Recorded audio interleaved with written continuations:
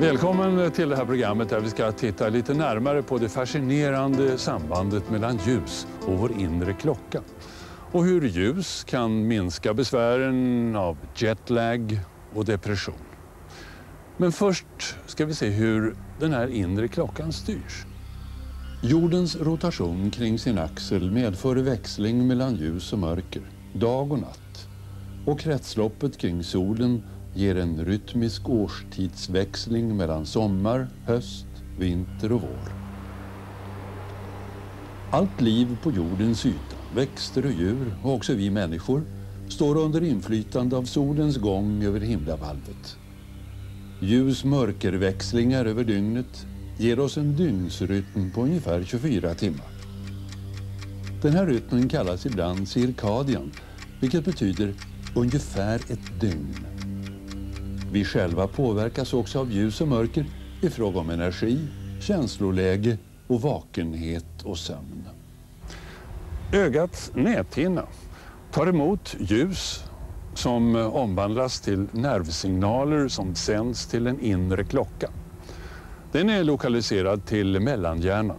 Signalerna går vidare till tallkottkörteln mitt inne i huvudet. I tallkottkörteln omvandlas nervsignalen till en hormonsignal. Hormonet melatonin bildas i mörker och hämmas av ljus. På det här sättet får alla kroppens organ dygnsinformation via blodbanan. Morgonljuset stänger av bildningen av melatonin och hjärta, lever, njurar, hjärna, ja alla celler i kroppen får veta att nu har en ny dag börjat. Forskningen om ljus och rytmer har visat sig vara betydelsefull för skiftesarbetare och andra med oregelbundet arbetsschema. Flygande personal och passagerare som kan få besvär av så kallad jetlag, för äldre och blinda med störd dygnsrytm och vid behandling av depression och sömnstörningar. För att ta reda på mer om hur ljus kan påverka oss ska vi nu träffa en grupp internationella forskare. Um, I would like them to um, identify themselves by uh, giving us their respective research profile. Russ. I'm a research scientist. My uh, formative years in this field were spent investigating primarily the effects of light on reproductive physiology. More recently, I've become interested in the mechanisms by which light and darkness mediate the effects on reproduction as well as other aspects that it influences. What about you? And I'm a biochemist, and I'm really interested in um, the chemicals that carry messages in the brain. And I'm interested in the particular gland, the pineal gland, which is the one that is involved in light-dark regulation, because it can be used as a model for how the brain works in many ways. And as a consequence, I'm interested in light and dark because indeed that modifies the function of the brain and the pineal and activity in general. Dr. Arendt. I've had a long personal interest in the pineal gland and melatonin, its hormone, the darkness hormone. And very recently, I've become particularly interested in how you can use light and this darkness hormone to improve well-being in people. Put it as simply as that. Mm -hmm. Occupational health reasons for jet lag, for insomnia. Uh, I haven't managed to actually do any research work in all of those areas, but the potential is terrific. We'll be back on that. Lennart Wetterberg. Well, I'm a psychiatrist working here in Stockholm, and um, I'm interested in uh, how we can use uh, light uh, to study depression, both to understand why some persons get depressed in the spring or fall, some in winter, even some patients in summer. Also in the field of schizophrenia, which I'm very much interested in, and the genetic aspect, why is it that in the first three months of the year there are more persons born who later develop schizophrenia? And the third area is sleep disturbance, which is very common symptom with all kinds of uh, psychiatric diseases. And uh, Dr. Brainard? Yes, I'm a neuroscientist, and I have spent all of my career looking at how light drives biological effects in animals and in humans.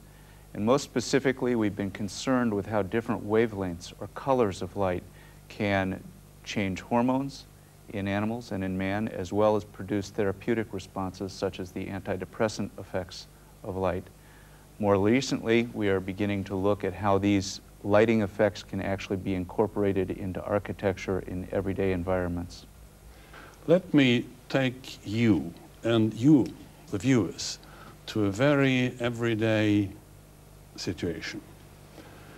You are aware, you viewing this program, that tomorrow morning will be an early one.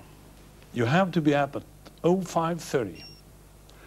You um, set your alarm clock at 0530, you go to bed. You wake up often at 5.25, five minutes ahead of the alarm clock. How does this function? How come the biological clock, is that hormones, psychology, lack of light? What is it? Russ. Well, this is a phenomenon that's been described. It's referred to as apprehension stress.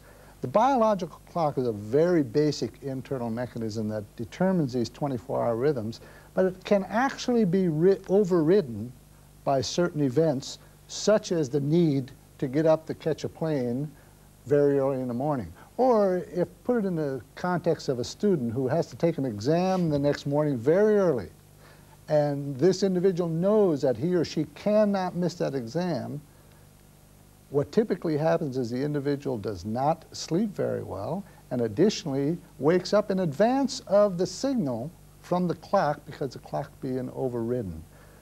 There are confounders in this system. No, there are things that make it difficult to understand, and this is an example of one of those. Okay. Would anyone of you would like to comment on this? I dispute the premise, I think, because yeah. um, I don't think you do sleep right through the night and wake up five minutes before. I think you're half sleep. I think you're so concerned about you've got to get up at five o'clock in the morning that you've got half an eye open most of the night, and when it's obvious from the clock, you may not be totally conscious that you're aware of time, mm -hmm. but when it's mm -hmm. obvious that it's time to get up, then you fully wake up. I see. George. Yes, I think human beings have a lot of flexibility in this regard, and we can override some of our internal drives by needs that are driven socially or by sound cues. Left to our own devices, light and darkness will drive the inner clock, but in the context of society, it behaves differently. I think that is also obvious in Joanne's studies in, uh, in Antarctica. In that particular study, the light intensity during the long winter night was very low, and yet the melatonin rhythm in those individuals was synchronized by the social environment, which if these individuals would not have been on a regular work schedule, the melatonin rhythm would have actually drifted around. But because of the social circumstances that dictated what these individuals should do, the system was overridden and they remained perfectly synchronized.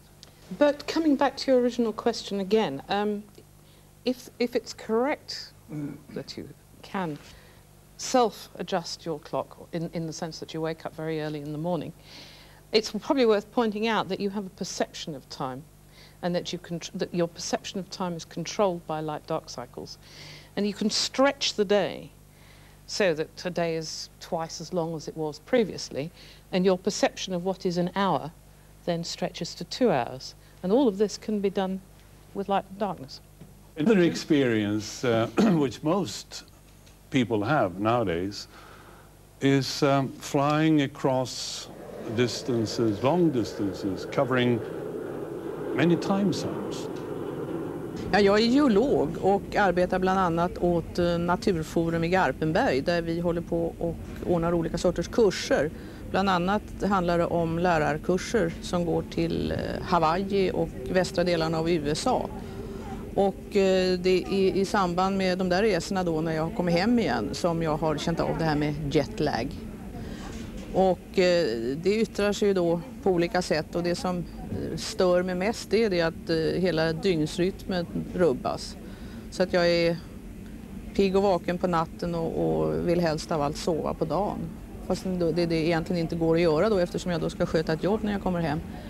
Så att det brukar vara så att jag, när jag än lägger mig då på kvällen så vaknar jag vid ett-tiden på natten och sen är jag vaken då till framåt fem, halv sex. Och då brukar jag kunna somna om igen. Sen är det då ganska snart dags att gå upp igen. Och det blir ju då att det blir inte många timmar sömn per dygn. Och eh, då under nästföljande dag då så är jag ju då naturligtvis trött och sen upprepas det där. Så att jag, vare sig jag lägger mig tidigt eller sent då på kvällen så vaknar jag igen.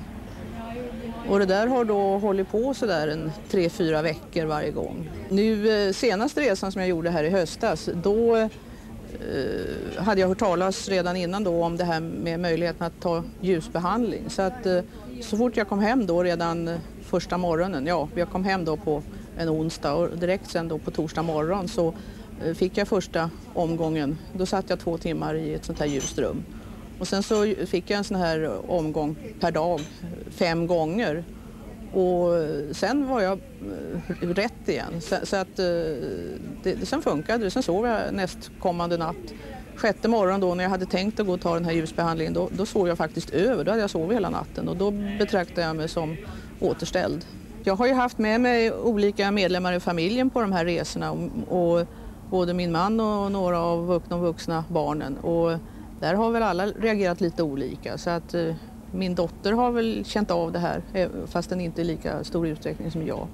Däremot så har väl både min man och den son som har varit med återhämtat sig i stort sett omgående när de har kommit hem.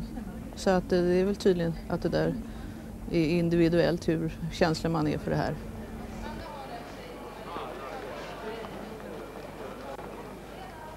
How do we react correctly to the protest signals from the biological clock?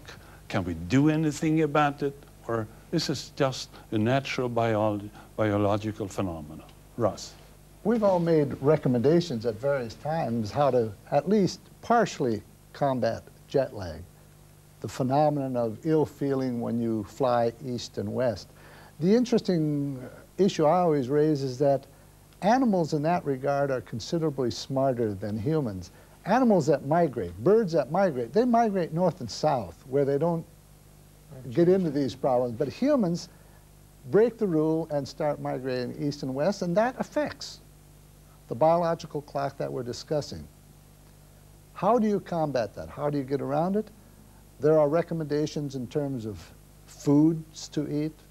There's certainly recommendations in reference to light. That would be an interest of ours.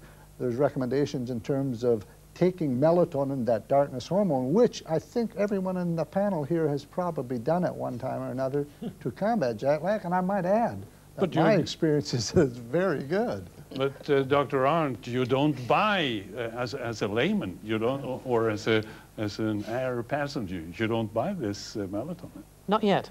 Not Hopefully yet. one day, but uh, it's been a very long time in development. There are a lot of problems with this. Uh, at the moment, imitation melatonin is being developed. In other words, a chemical molecule which is similar and hopefully has similar effects, which can be patented and protected by a patent. But I, I wanted to say, though, uh, there's nothing wrong with melatonin. Oh, no. You didn't mean to imply that. She Not at all. No, it's melatonin great. is the ideal drug. but I think that um, it's a problem because it's a right. generic. Exactly. But I want to ask you, yeah. racehorses get jet lag, don't they? I presume they fly. That's a very good question. It's not only humans that fly around the world, but they frequently take animals, circus animals or horses or whatever the case may be they suffer from these same types of problems. They're just more difficult. You can't ask a horse. You can ask them, they don't reply. So, you know, you don't know if they're in jet lag as readily, although their performance is certainly down when they're in may, jet may lag. I just fill in that uh, horses in Vienna, uh, at the circus horses, uh, have been treated with bright light for 100 years and with the notion that they are Arabic uh, horses and they are used to bright light.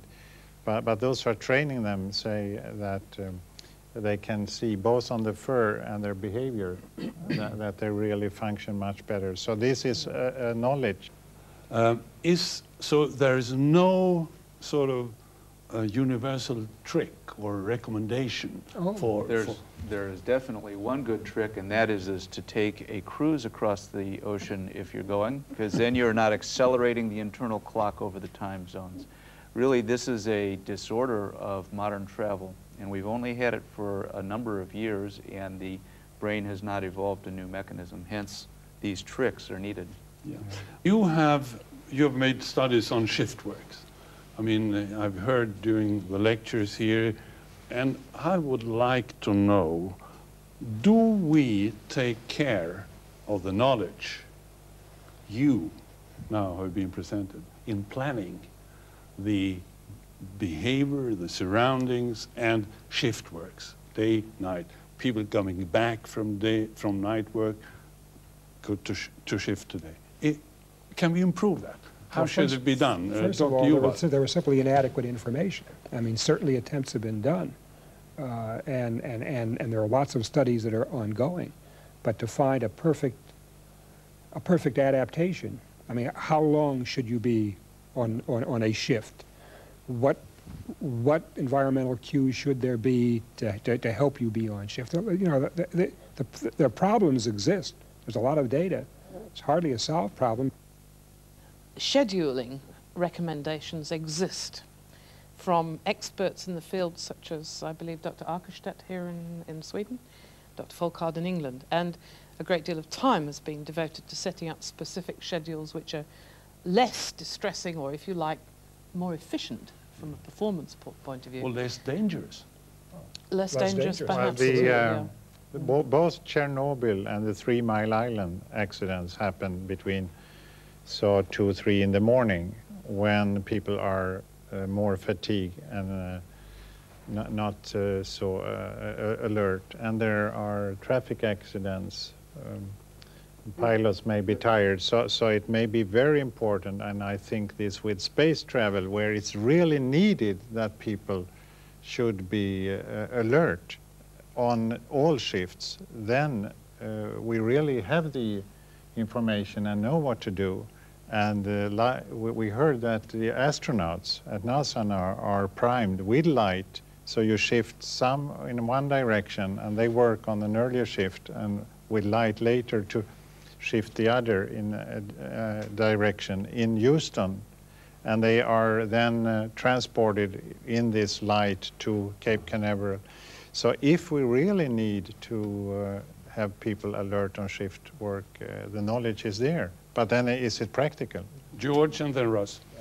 I think the basic problem is this. We are daytime creatures. That's our evolution. And with shift work, we are asked to be awake and performing during the night when biologically we are adapted to be asleep. And I think there are three potential solutions that are developing now, and we don't have all the answers. One is, as Dr. Arendt stated, biocompatible scheduling. Schedules, work schedules which work with the clock instead of against the clock. Secondly, improving the education of the workforce for better sleep hygiene and better dietary hygiene. And thirdly, potentially the use of lights to help the, the worker's clock adapt to the environment. I'd like to echo the inadequacy of information, and you can realize this immediately when you talk to people who are concerned with shift workers. They typically cannot agree on what is the best means to combat it. The one thing that seems to be in agreement is something that's already been said, namely, it would be better to move the schedule forward than to move backward. For the same reason, it's more difficult to fly from the United States to Sweden than from Sweden to the United States. It's more easy to phase advance our rhythms than to phase delay. So shift work is prolong, prolong the day. Yeah. right prolong the day in essence. So in terms of shift work, it would be better if you work during the day than to take an early night shift rather than work during the day and then try to go backwards. I think there's general agreement in that area, but how many days they should stay on it, whether they should in fact acclimate, whether they should have naps during their work period when they're working night, is all uh, in a state of confusion at the current time. We've been talking uh, about the, uh, the biological clock concerning 24 hours. If, and you mentioned uh, us in Scandinavia. I, I'd like to know how do people cope living on the uh, Arctic and Antarctic Circle to uh, live in constant light and constant darkness. And apparently there are hundreds of thousands of people having their bi biological clock functioning how? They cope with greater difficulty, I think, than those persons living near the equator. We can take some examples. Uh, Tromsø, Norway. They have empirically determined, there's 46,000 people in Tromsø. They know that when the sun sets below the horizon on November 25th, that they have to make certain adaptations, and one of the things they have determined without scientific input is they feel better when they use higher and brighter lights, higher intensity and brighter intensity lights. And this is why electricity consumption in Tromsø is 20% higher than anywhere else in Scandinavia. And they also know that when the sun comes above the horizon, they're going to feel better. They even have a special day to recognize the rising sun on January 21st. But do you Joseph. think that's light, or do you think that it's there's something about the sun just appearing above the horizon? I suppose that's There's a of lot but- of symbolism involved in Yeah. this. Yeah. But does, does this go for general um, environment and when we work? I mean, you mentioned that. We work in too little intensive light. I mean, that's not intensive enough. If, do we have to increase the level of lux when it comes to normal life, so to speak? I believe we're looking at a potential revolution in architectural lighting, but it will not be a simple revolution because we don't need bright light all the time. If we were to provide this at all the times, first of all, it would waste energy. And secondly, there are wrong times of day to have bright light stimuli. So it must be worked out, and the designs yet are not established. B- before going into the thera- therapy, using light as therapy, as a drug, uh, let me just uh, have a small test here. What's the color of this, sir? That's green, That's green. And what's the color of this? red. That's red. Okay. When we talk about light, that's sort of mixture of all these colors which, which you see, see in, in rainbow. If you would define the effects on the human body on these two colors, are there any differences between red and, and, and green? Or I can't make blue here, but uh, blue, of course, stands for George. Absolutely. When we compare the effects of different wavelengths for, for example, suppressing melatonin, we find that the wavelengths in the center of the spectrum are the most powerful. The green and the blue wavelengths have the strongest ability. Red light at a same intensity will not have the same power, but if you raise red light to be bright enough, it too can have this effect, as can, for some human beings, the non-visible ultraviolet light can have these effects. But again, the center of the spectrum seems to be the most powerful in the green range. And you're talking about human beings. I mean, obviously, it is not the same for all creatures. I mean, beasts live in, in different, different kinds of situations. If you're living underwater, the spectrum you see is different than the spectrum you see on land. And so wavelength can be very important and can be different between species. But when it comes to humans, uh, Lennart, you, um, you treat patients uh, with, with light. Jag heter Ann-Kristin. Jag har känt mig så här nedstämd, deprimerad i många år.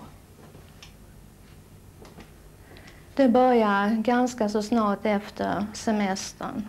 När vi kommer in i september så, så känns det att man går ner i varv.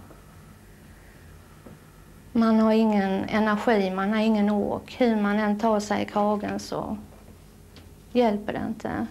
Jag stiger upp kvart i fem, fem med hjälp av att min man väcker mig. Annars kanske jag inte hade kommit upp. Och så tar jag med mig lite frukt och en smörgås och åker iväg in till Sankt Göran. Och så kommer jag hit här och här finns det kaffe och te. Så att jag kan ta min smörgås och äta den här. Vill jag läsa så kan jag göra det. Och finns det några som vill diskutera så gör vi det också. Vi kan skratta och ha riktigt roligt här. Och vill man bara sitta ner och fundera för sig själv så går det bra. Men man måste titta så man får inte lov att, att somna. Och sen när de här två timmarna har gått, jag sitter på morgonen då mellan sex och åtta. Och sen eh, så ger jag mig iväg strax efter åtta. Jag åker tunnelbana och tar pendeln till Huddinge och är tillbaka på arbetet. Och det känns som en liten vitamininjektion. Nej, det känns bra. Det är det bästa för min del hittills kanske jag ska säga, men det är en stor skillnad. The viewers probably think that light is a sort of universal men, uh, mental medicine, which it is not. Well, uh, we talk about bright light, uh, then it's, as uh, George said, we shouldn't sit in it all day. That's very irritating. So the question is, how long time, the duration, uh, when should the light be given uh, in the, the, uh, during the 24 hours? And which wavelength? And how often? and what are the individual differences, as I said, with aging when the lens is uh, getting uh, shading out some colors. So what we uh, have come up with uh, in a white room where we can have about 10 patients sitting and getting the same amount of light, we give two hours in the morning. Because if you give more, uh, then you don't get more beneficial effect. We don't know how short we can cut this, if one hour or half hour or 50 minutes is enough. So that, that's uh, ongoing. We also don't know if green or red is better than the whole spectrum. The idea right now is that it should be as uh, close to sunlight as possible. Okay. Do patients who are depressed and you treat with light, do they prefer light as opposed to a drug therapy? And how effective are drugs relative to light therapy? Is there an advantage to light therapy? Uh, as say, very good question, because um, uh, in the first place, we have tried to do a crossover. So we should give, um, uh, next year, say, we'll offer you light treatment or drug. And we have not got any patient who previously have used light treatment to volunteer to take a drug instead.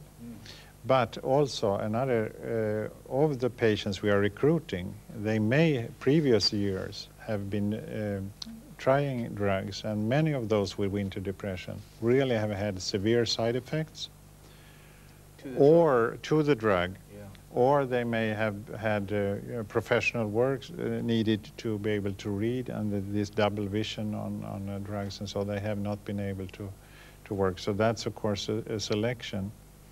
And those who have used uh, light, it's very difficult to get them to use. Uh, uh, So they're very happy with the they're, therapy. they're, they're, they're very happy, and uh, they have founded a patient association called Ljuspunkten, the Light Point. Uh, and uh, they are very, they are gathering information, and I mean, they are absolutely convinced uh, because they are the real experts on uh, how beneficial light may be to carry them over the, the dark. But I think we can look at uh, light as vitamins uh, or food. You, you need vitamin A, B, C, D. If you are lacking one, uh, vitamin uh, B, it's not uh, good to supplement with the other, or if it's B12. So um, in 10 years' time, I think that maybe you'll, uh, you should have green light and maybe of a certain intensity a specific time of day. So And, this, uh, is, this is vitamin A, is it? Vitamin A? Maybe This for, for, for, for some. And uh, Sure. uh, we know that there are colorblind people. And what has come up, which uh, I think two very interesting uh, um, prospects, that's that there are, in besides rod and cones, in uh, the retina that's uh, seeing the red and green, may be another type of receptor that may be very important. Dr. Yuwiler? Well, but, you know, but, and also, obviously, color is important. I mean, so there are industries built upon, upon color preferences. Uh, and the color preferences aren't there for nothing. I mean, uh, uh, uh, insects see not the color as we see it, but plants are colored the way they are to attract insects to pollinate them. Uh, color, color wavelength is clearly important. I mean, you know, the, a blue mood is a blue mood. Why is it a blue mood? Because that has a certain emotional component to it. And, and of course, that's related to the fact that the sky is blue and that water is blue. Yellow is hot because the sun is hot. Know, so, I mean, I mean, uh, people, have, there, are there are even some studies that have been done looking at the effect of color on psychiatric patients and whether or not they are helped by having a mood I mean, ha uh, having, having a, a, different color room, if you watch the frequency of, of what room they will go into depending upon what color it is. There have been a uh, couple of studies that have looked at that. Could you elaborate on artists, um, uh, famous artists Certainly. having different um, pictures of, of, of sure. the environment? Well, what about Van Gogh? Oh, certainly. Uh, uh, I mean, the, the, the, the, incoming, incoming color in the area, the, the, the, the, the, the, mood you want to generate, but that changes. As Dr. Brainard has shown, the, the eye yellows. And, the, and as the eye yellows, the artist changes his colors as he gets older in order to get the effect that he wants to get. I mean, somebody commented that, that Constable and, uh, uh, it was Turner, I guess. Was it Turner? Turner began to, to, to change his, his, his, his colors as his eye began to get yellow. And he was trying to match what was in his head with what he kept seeing. This is a very interesting aspect of this story, and that is, is that as young human beings, children, actually see a different range of colors than we who have aged a bit. And it is due to changes inside of the, the eye in the lens.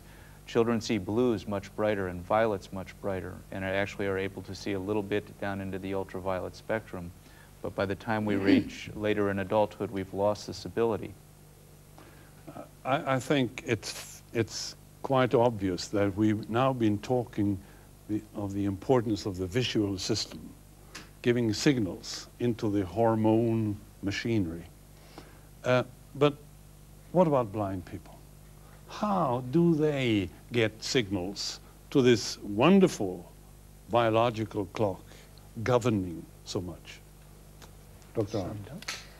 It seems that very large numbers of blind people are not, in fact, properly organized from a clock point of view. Um, if they have no perception of light, their internal rhythms, the overt ones of sleep-wake and the internal ones of hormones, seem to run at a different periodicity than 24 hours. It's not true of all blind people by any means, but it is true of some. And this periodicity can be up to 25 hours, and in very rare, rare cases, less than 24 hours. So the, the lack of the light-dark time cue is very important. What's more, um, when their sleep is running free, as this is called, they can be very sleepy in the middle of the day and wide awake in the middle of the night. And this can cause a lot of problems. Light is very painful when, we got, when you got headache. Here we've been talking about light as a therapy, as a drug, being help, helpful. You um, help patients. Can light be not just painful, but hazardous? Sure. Absolutely. Uh, overexposure to light can do several things that are toxic. It can burn the skin, it can burn portions of the eye. Uh, certainly everyone knows that uh, one doesn't stare directly at the sun for any length of time because that will cause blindness. We're not talking in light therapy about levels of light that are hazardous, however. We're talking about things that are much lower than actual hazardous levels. Look at the situation. Light is just, it, it, is. Does not this mean that moonshiners or amateurs or charlatans would, would use light therapy, say, come to us, we have got light sure. therapy for you. Isn't that a, a big danger? Unfortunately, there are any number of charlatans who are doing exactly that without being very familiar with what they are doing.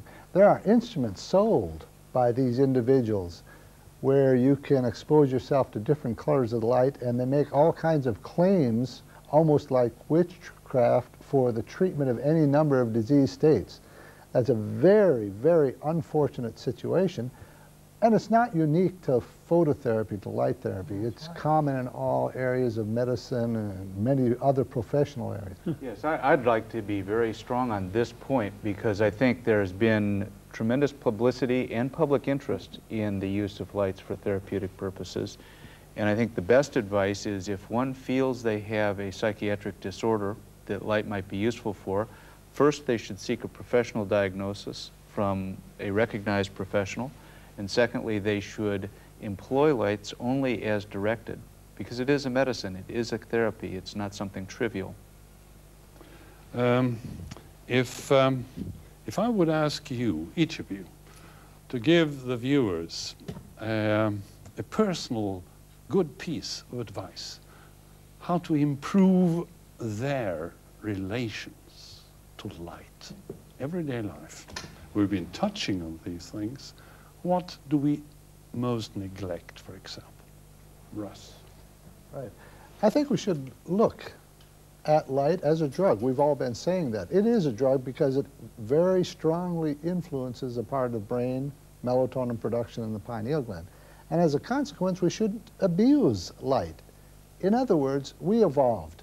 Man evolved like other animals in a regular light-dark environment we have learned to live with that type of environment and adjust our physiology accordingly. I guess the bottom line is that light can be abused. Light, bright light, particularly at unusual times in the middle of the night, is less than ideal because our brain gets the wrong information and sends the wrong information to the remainder of the body. So I guess as closely as possible, we should stay with the re regular alternating light-dark environments. That doesn't mean we're going to as a species because we've already established the fact we're going to continue to abuse ourselves with jet lag and so forth. But as much as possible, have a dark alternating with a light environment for every 24-hour period. And, uh, Dr. Wirz-Justice at the meeting commented that, and she's from Switzerland, said that, that, the, uh, that one should go on out for a good walk in the sun, about an hour's walk, and that does a great deal for your psyche. And she had data to back it up, and I think it's a great idea. and not too sophisticated. Not too And very cheap. Very cheap. Okay. Josephine. I think you should have a skiing holiday in the winter. Lots of bright light off the snow. a month somewhere by the sea in the summer. Lots of gardening in the summer evenings. And a good book in the winter. A walk after lunch, and perhaps a bottle of melatonin pills one day in the bathroom. Lovely. Lennart. well, uh, at the meeting, Daniel Kripke from San Diego had um, uh, studied persons in San Diego, how much they time they spent in sunlight by having a watch with a photometer. Mm -hmm. And uh, to me, surprisingly, many persons were not out in sunlight for one hour, even in uh, sunny California or some as little as 50 minutes when they walked from the car to, to the office and, and, and back. And you said it's, it's very cheap. Obviously, if time is money and uh, people don't spend an hour a day outside, my recommendation is uh, uh the same, particularly at our uh, latitude in Sweden, to take a brisk walk. Okay, George, your piece of good advice. Right. I think that we've all been working on a very complex biological system, the biological clock and the hormones that uh, work from it. And that's been great scientific fun. But when it comes down to it, we come back to the very simple conventional wisdom that for optimum health of the human being, we need good food, good sleep, fresh air, and sunshine. Would we ask the electrician to just say thank you to you and dim down the light? These people are going to produce melatonin. So could we have the lights down, please?